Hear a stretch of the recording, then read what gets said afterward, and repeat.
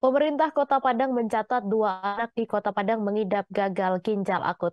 Kepala Dinas Kesehatan Kota Padang Sri Kurniayati mengatakan satu anak dirawat di RSUP M Jamil Kota Padang, sementara satu lagi meninggal dunia saat perawatan di Rumah Sakit Umum Daerah Rasidin Kota Padang. Dinas Kesehatan Padang sendiri belum bisa memastikan apakah anak tersebut meminum obat sirup atau tidak.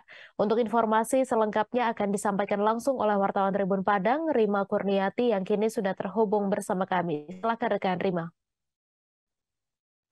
Baik, Mei, dapat saya laporkan kasus gagal ginjal akut di Kota Padang hari ini sudah bertambah menjadi dua orang anak sehingga total kasus gagal ginjal akut Sumatera Barat atau Sumatera Barat ini sebanyak 23 kasus. Dua kasus di Kota Padang ini terjadi pada anak usia 12 tahun dan uh, bayi berusia 4 tahun. Untuk kondisinya, anak usia 12 tahun ini sudah meninggal di RSUD Padang, sementara bayi 4 bulan ini masih dalam perawatan di rumah sakit RSUP M. Jamil Kota Padang. Dari 23 kasus gagal ginjal akut pada anak di Sumatera Barat, sebanyak 22 itu dinyatakan meninggal.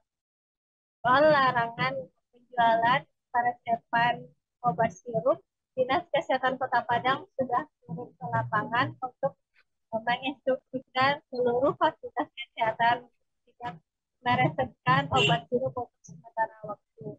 Fasilitas kesehatan yang ini seperti puskesmas, rumah sakit, eh, maupun klinik. Namun, uh, Dinas Kesehatan Kota Padang masih uh, terkendala pada maupun minimarket yang tidak minimarket yang menjual obat sirup. Hal ini dikarenakan toko obat berizin dan minimarket ini tidak di bawah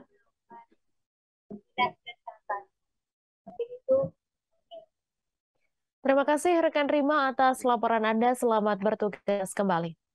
Terima kasih sudah nonton. Jangan lupa like, subscribe, dan share ya.